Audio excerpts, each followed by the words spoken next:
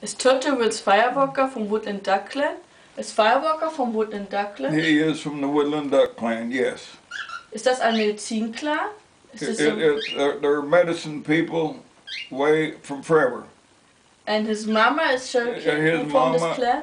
And then his grandmother both was, was great medicine women. Seine Großmutter und seine Mutter waren große Medizinfrauen.